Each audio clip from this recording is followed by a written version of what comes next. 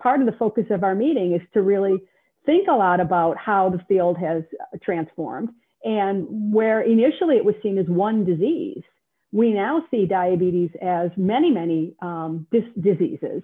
Um, and part of the goal of the meeting is to try to understand better how the field can move towards perhaps potential uh, personalized medicine, uh, deeper phenotyping, and um, really, you know, looking at the person who has diabetes and helping that guide us in terms of our research questions. We have a whole session on novel therapeutic strategies that are based on what we're learning about the diseases. So yeah, like you said, we're, we're covering basic translational and, and clinical aspects of diabetes. And so we will have some sessions on tissue crosstalk and, and what are the new molecules that are um, exerting different um, you know, effects um, in healthy individuals or in individuals who have metabolic disorders or diabetes. A cornerstone of Keystone is that it's a lot of unpublished, real kind of hot out of the lab, you know, research developments and active discussions.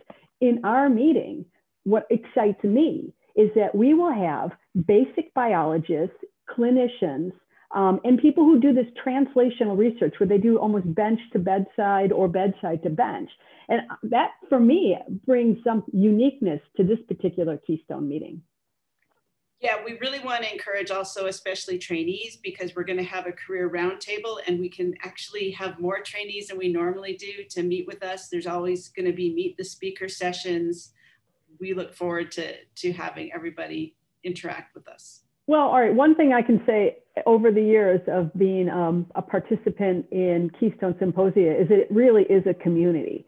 And even though the virtual format is still yet new for Keystone, it's accessible and it um, it really takes um, and democratizes science.